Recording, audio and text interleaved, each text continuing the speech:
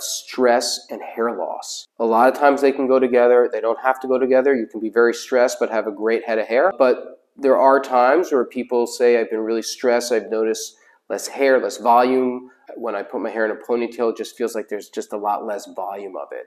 So is that true? Does stress have anything to do with it? Well, it can.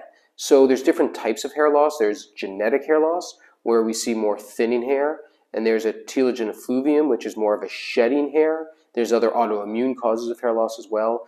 In general, stress can cause a shedding of hair, which is referred to as a telogen effluvium.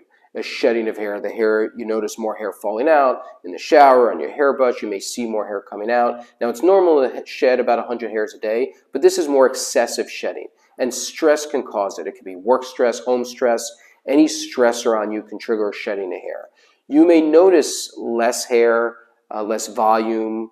Uh, you may notice yourself, usually it's not very noticeable to other people, but you may notice less hair.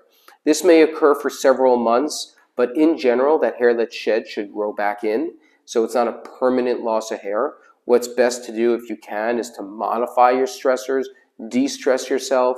It'll help you in life. It'll help your hair and be confident that your hair will come back in. You have to take care of yourself, eat well, good diet, good nutrition. That helps. But, you know, trying to modify or reduce your stressors, that can always help your hair.